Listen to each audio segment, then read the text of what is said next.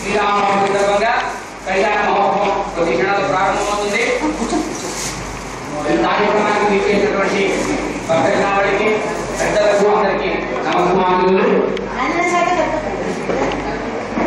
ముఖ్యంగా ఈ యొక్క కార్యక్రమం ఉద్దేశం ఈ యొక్క కళ్యాణ ఉద్దేశం లోక కళ్యాణం జరపడం జరుగుతుంది. దీనికి వీక్షించినటువంటి భక్తజనులందరికీ మా హృదయపూర్వక శ్రీరామనవమి శుభాకాంక్షలు. జై శ్రీరామ్. జై శ్రీరామ్.